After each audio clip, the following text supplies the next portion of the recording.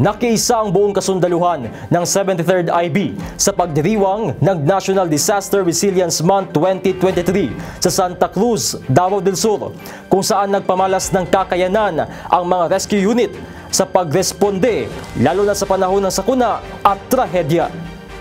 Muli nagbabalik si Agila Trooper Johnson Militado para sa detalye.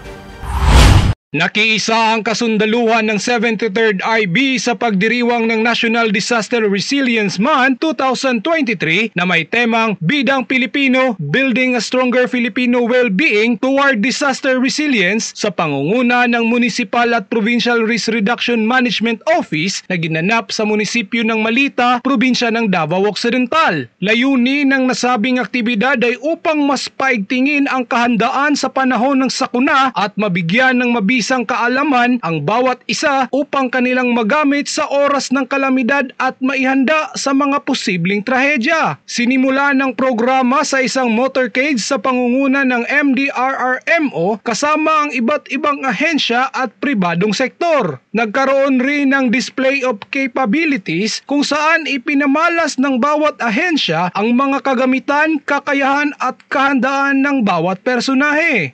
So ginakandak na mo ni every year to aware our stakeholders na kung unsa ka ready ang ato ang ehensya sa ah, pagpangandam sa mga kalamidad nga moabot sa ato ang lungsod.